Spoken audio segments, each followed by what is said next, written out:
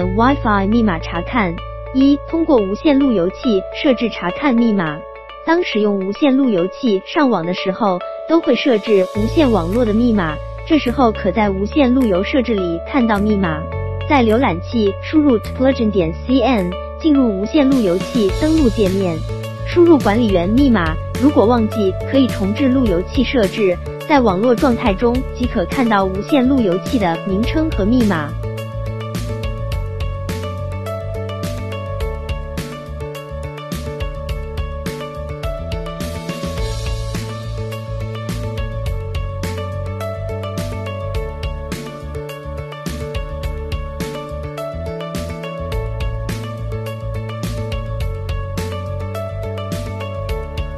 二、电脑设置查看密码，依次点击设置。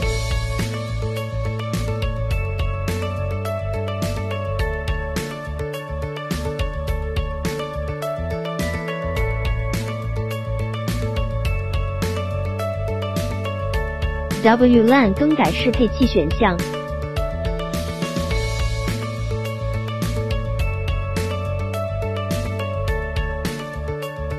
状态。无线属性，安全，勾选显示字符即可看到当前连接下的 WiFi 密码了。